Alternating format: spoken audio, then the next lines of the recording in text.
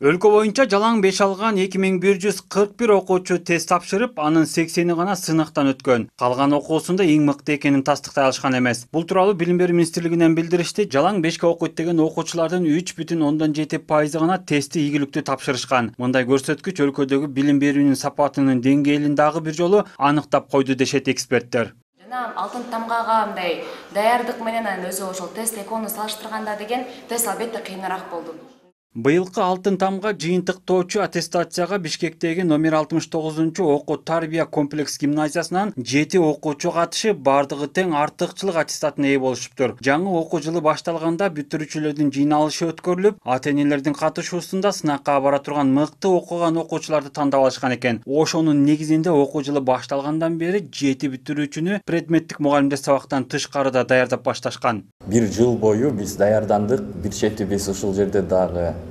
психологиялык жактан отказ кыла баштады ошо жылдын аяк жагына келгенде.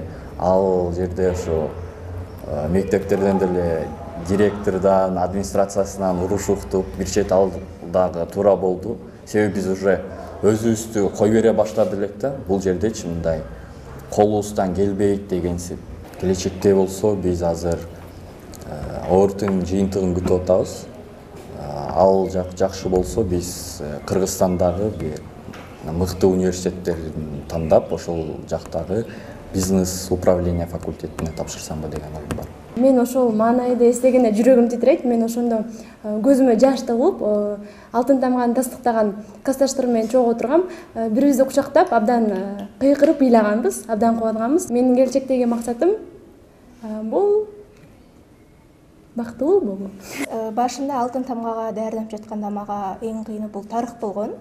Ал эми бирок жанагы тестти жазып баштаганда мага тарых деген мындай оңой мага мен билген суроолор келди. Бирок деген мага э, кыргыз тилде да жакшы бирок кыргыз адабиятында мындай кыйынчылыктар туулду э, мен келечекте экономист болгум келет аталган орто окуу жайда быйыл токсон төрт бала мектепти бүтүрүп жатыптыр. Башта жакшы окуган бүтүрүүчүлөрдүн ичинен он чактайы алтын тамга аттестатына катышууга ниети бар экендигин билдирген. Бирок алардын айрымдары бир предметтик сабактардан начар болгондуктан сынакка катыштырылбаптыр. Эмне үчүн ушул балдар тандалды десеңиздер ал окуткан окуучу мугалимдердин пикири менен чечим кабыл алганбыз.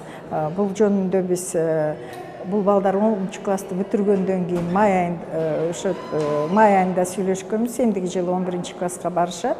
Ошол алтын тамгага бара турган балдарды биз азыртадан психологиялык жактан даярдашыбыз керек. Силер бара турган болсоңор биринчи күндөн тартып эмгектенишиңер керек. Калуу эле аз калуунун аркасында эмгек турат деген сүйлөшүү жүргүзгөнбүз. Ата энелер менен жолугушканбыз бул балдардын менин классымдан бешинчи класстан баштап сегиз бала отличник болуп келген. Тогузунчу классты бүтүп атканда ошол сегиз бала тең отличнигин тастыкта тогузда өзгөчө көбөлүктү алышкан анан онунчу класска келгенде талап кичине катуураак чоңураак анан педсоветтин чечими менен ошол сегиз баланын ичинен алтоосун менин классыман тандап алынган он биринчи а класстан бирөөсүн кытай классындагы багыттан он биринчи в класстан чолпон кызы нурзатты тандап алганбыз. Анткени бул жерде алтын тамганы тапшырууда окуучунун логикасы күчтүү болуш керек.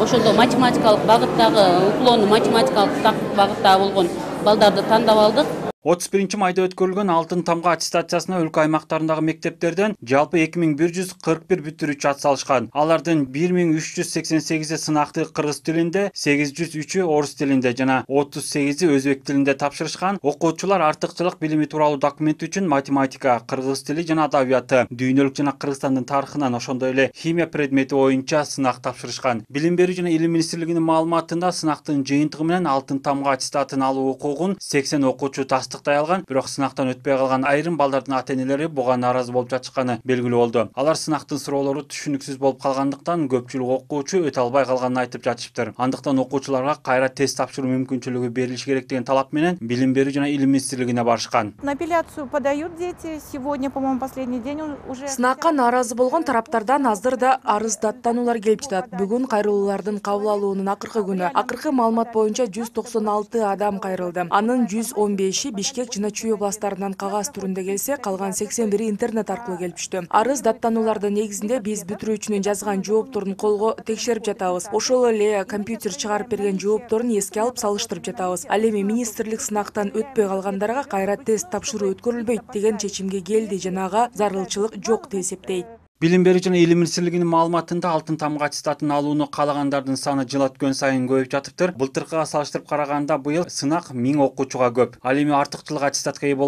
катары барган сайын азайып жаткандыгы белгиленди мекеме мунун себебин балдар эки жыл онлайн форматта окугандыгы менен байланыштырууда дүйшөн шаршембеков адилет нтс.